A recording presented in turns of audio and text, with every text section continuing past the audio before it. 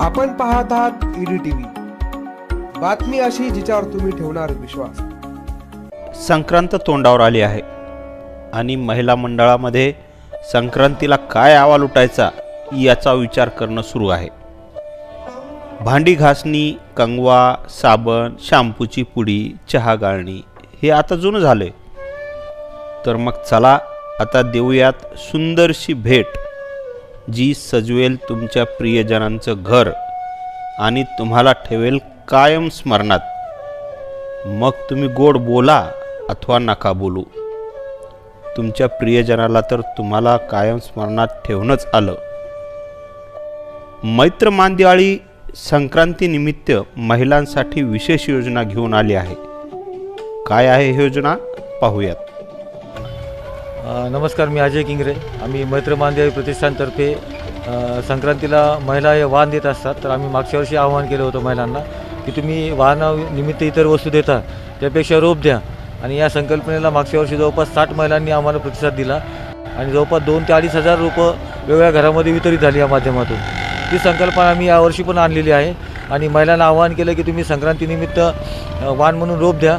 आता पण एक पंचवीस ते तीस महिलांनी याची नोंदणी केलेली आहे. व त्या ही जी रोपं सर्व तुम्हाला मार्केटमध्ये पन्नास रुपये साठ रुपयाला मिळतात ती सर्व रोपं आम्ही जसं की गुलाब जाई जुई मोगरा अनंता चमेली कोडिया रेड बोगनवेल अशी विविध प्रकारची रोपं आहेत. त्यामध्ये तुळस आहे कडुलिंब आहे आवळा आहे चिंच आहे ही सर्व रोपं आम्ही वीस रुपयामध्ये उपलब्ध करून देत आहोत. त्यासोबत एक महिलांनी तयार केलेली कापडी पिशवी जी आहे ती पण त्यांना देत आहोत. ज्यानुसार ज्या ज्या जेव्हा तुम्ही महिलांना वाण म्हणून पिशवी देताल तेव्हा ती त्यांना न्यायला ते रोप न्यायला सोपं व्हावं म्हणून. आणि अशा माध्यमातून आम्ही यावर्षी हा उपक्रम राबवत आहोत. आणि त्याला जाण्यातून जालन्यातून चांगला प्रतिसाद मिळेल अशी अपेक्षा आहे.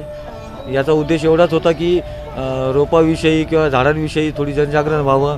त्याविषयी महिला वर्गामध्ये पण थोडंसं झाडाची आवड निर्माण व्हावी. हा त्याचा त्यामागचा मूळ उद्देश आहे. धन्यवाद.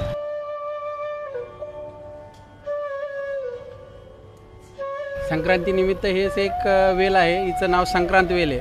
आणि हिचं वैशिष्ट्य म्हणजे या वेला या वेलीला न्या- संक्रांतीच्या जवळपास एक पूर्ण महिन्याभरात म्हणजे फुलं यायला सुरुवात होती आणि पूर्ण महिनाभर याचा बहर असतो.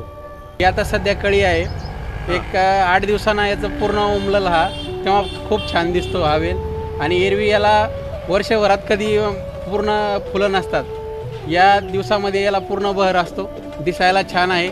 आणि एकदा पसरायला सुरुवात झाली ना तर हा सगळीकडे एक छान प्रकारचं दृश्य आपल्याला बघायला मिळतं.